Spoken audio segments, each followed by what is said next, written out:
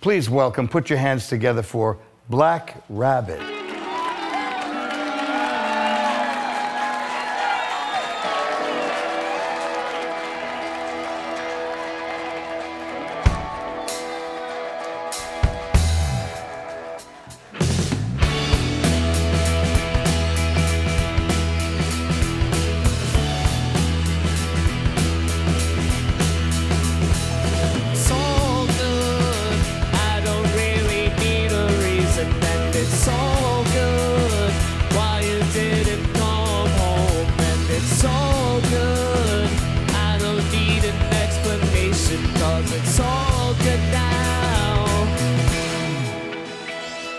Good. I don't really need a reason, and it's all good. Why you didn't come home. It's not, it's not just Beatlesque. It's, it's the spirit of, of love and gratitude and, and joy. I mean, those, that's like the seventh wonder.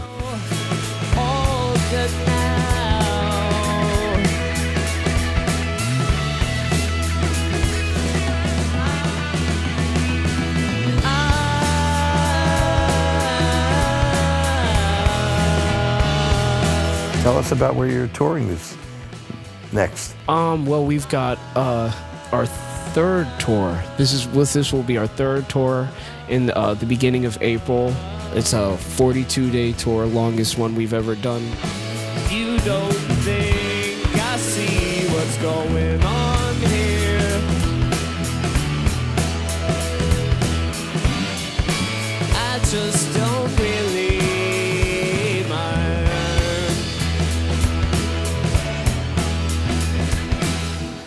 And um, we're going to be going through, we're starting out in uh, Toronto. Toronto in Canada and making our way down through the south, um, further west to California, up to the other side of Canada, um, Vancouver. Vancouver. Yeah. And uh, we'll be kicking our final show off on May 18th at Rough Trade in New York. Wow, and that's how, 45 days, you said? Yeah. 45 days.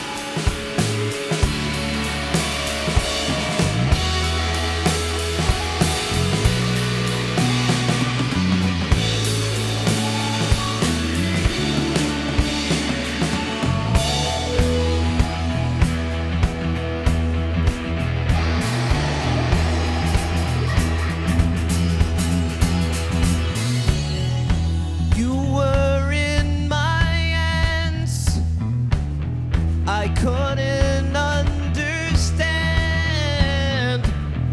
Can we coerce you to stay here at the Brooklyn spot for 45 days? Hmm. You don't have to go on tour. We'll tour them in. Yeah, exactly. that would be awesome. A Little must so residency here. Yeah. Thanks. Yeah, yeah, residency right here at the Brooklyn spot. I, I was just I was just thinking I was like, hmm, it'd be cool to like play here like more than once for sure.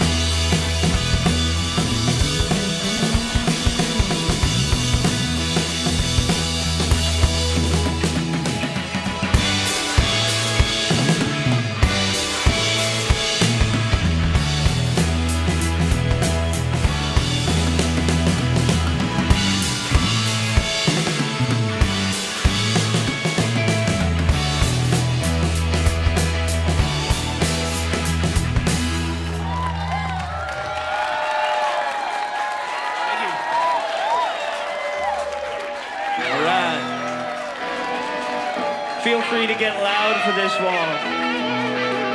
It's called Helter Skelter.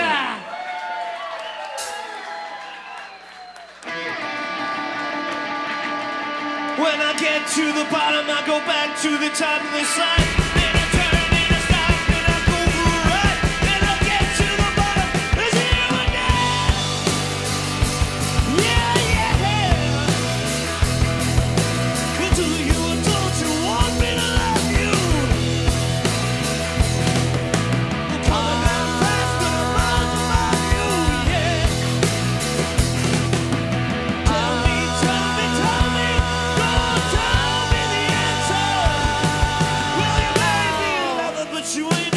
So I heard that um, I don't know how you came with the name Blac Rabbit, but uh, I heard through the grapevine that they really wanted to call you the Taylor Brothers.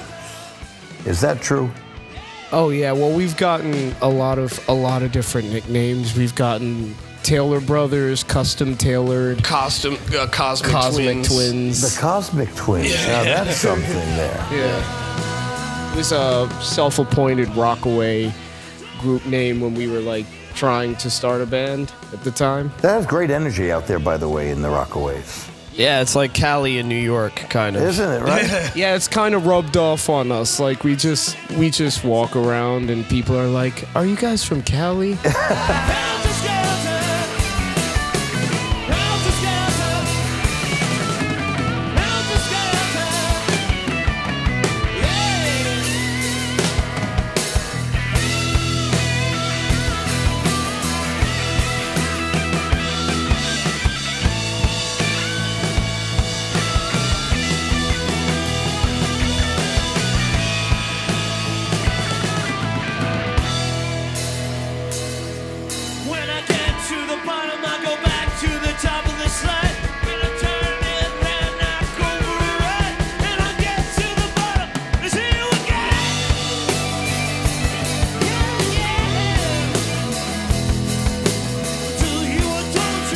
Talking about uh, Beatles, and, and that's what got you into music, and myself too. I, I've been in, in, into music for, since I was 10 years old, and I discovered the Beatles. You know, woke up and uh, I Want to Hold Your Hand. It was on the Ed Sullivan Show or something. But um, and that would that's what started you on your career in music, loving music because loving that Beatle music, which is all about love and all about spirit. And you've transitioned now into your own original music. How do you uh, find the creation or the inspiration that comes through you? Is it the same type of when you're playing a Beatle tune, or is it?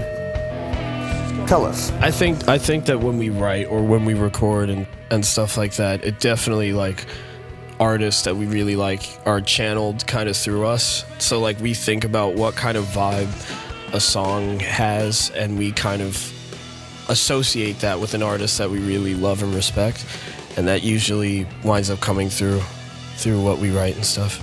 So yeah, the EP the EP that we put out um last year has um like I would say mainly big influences in the Beatles mid era during the psychedelic uh, you know Sergeant Pepper era. There's a lot of like uh, the Kinks like in- influence uh, Stones uh, zombies.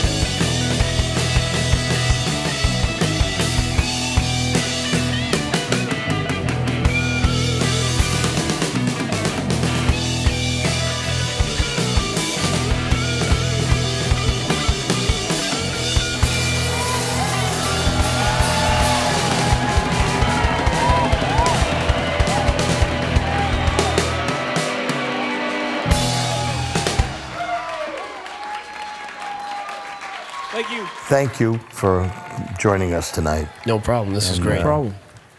Loved having you. Pleasure.